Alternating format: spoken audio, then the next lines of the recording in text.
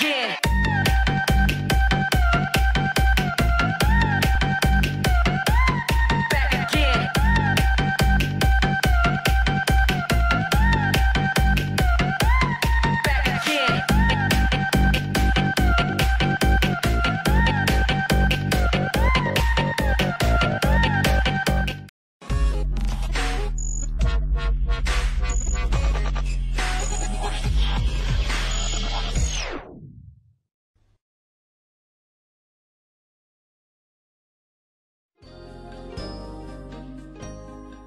Các bạn thân mến, từ xưa ông bà ta có câu nhất người tin, nhất thân vinh.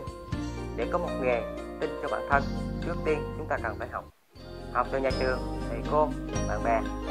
Thì video hôm nay tôi sẽ hướng dẫn cho các bạn, giúp các bạn à, học được cách bón motor đồng bộ một ba.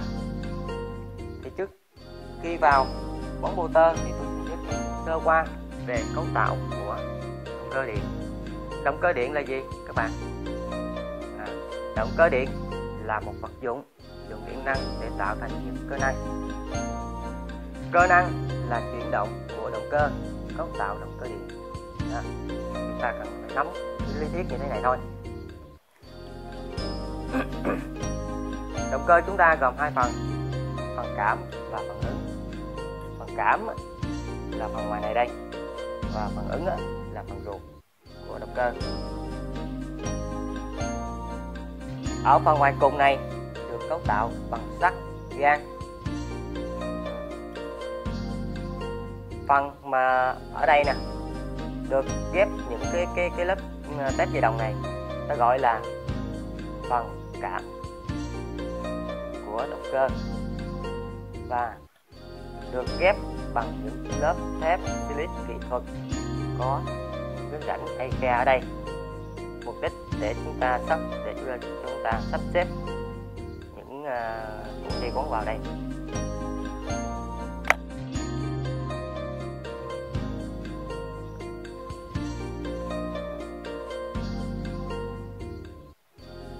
Và tiếp theo là phần ứng của động cơ. Phần ứng của động cơ người ta gọi là ruột của động cơ.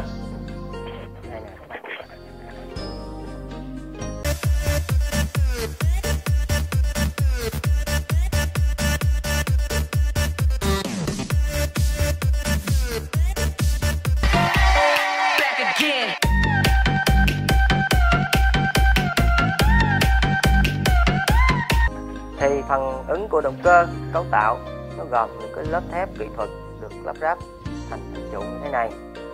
Ở đây thì nó có ờ, những cái thanh nhôm ờ, thiết kế làm như cái kết quạt để nhằm mục đích là giải nhiệt cho cái động cơ của chúng ta. Và hai đầu của trục thì có ờ, gắn bạc đạn hai đầu. Gắn bạc đạn hậu hạ đầu. À, nhằm để chuyển động nhằm để cho động cơ à, chuyển động dễ dàng và nó không có mà bị ma sát.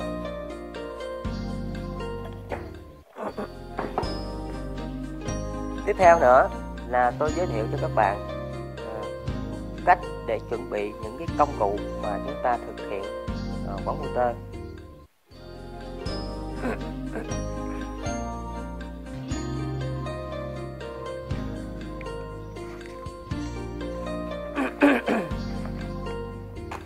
thì trước tiên các bạn cần chuẩn bị cho tôi là à, dây quấn à, dây đồng. Đó. thứ hai nữa là chúng ta dùng âm ba kế. À, dùng âm ba kế để kiểm soát được dòng điện tiêu thụ à, trong mạch điện. Tùy theo máy lớn máy nhỏ mà chúng ta dùng cái âm ba kế như thế này. Số lượng ampe cao hay thấp mà tùy theo chúng ta dùng cái thứ ba nữa là đồng hồ đo điện thế. À, chúng ta cần phải có chuẩn bị những cái dụng cụ à, để sẵn sàng chúng ta dễ làm việc. Tiếp theo là chúng ta chuẩn bị hai tụ đó là tụ ngầm và tụ đề à, ở đây tụ ngầm chúng ta là có 30 UMF 400V và tụ đề là 300 mm và 250V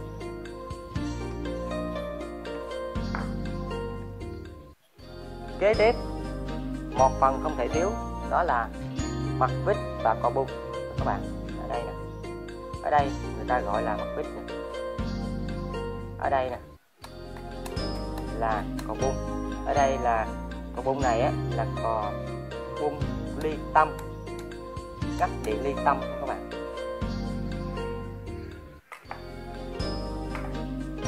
Băng keo.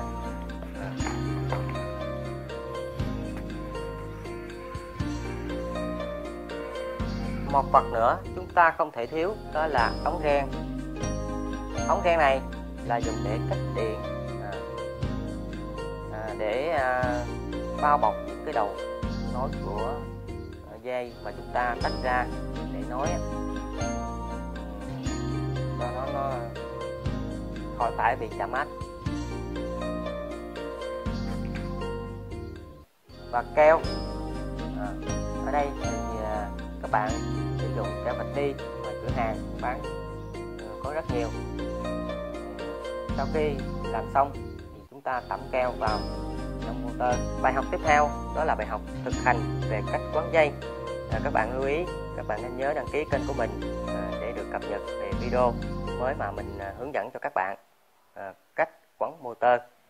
Và hôm nay thì tôi xin chào các bạn và hẹn gặp lại các bạn trong cái đoạn video mới.